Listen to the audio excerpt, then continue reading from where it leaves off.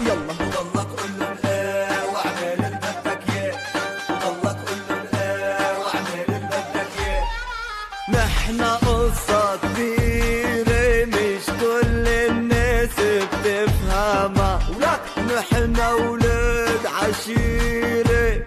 يعني منو